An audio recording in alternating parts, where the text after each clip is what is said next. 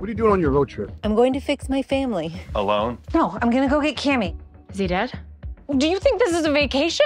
I'm not interested in some beer version of Sideways with my estranged sisters. My father is dying. My sister's a bitch. I'm having a beer.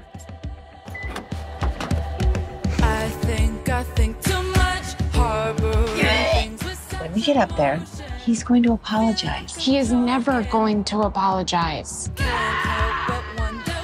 But wonder why. This is not the direct route to Washington. No, it's prettier, and it's only about a half an inch difference. You're late. I'm not home. I thought it'd be better if you just showed up. You'd see him, he'd see you, and then you'd remember how much you love each other. I'm gonna need that pump. Sir. Ma'am, I'm gonna need the pump. What do you mean you're gonna need the pump?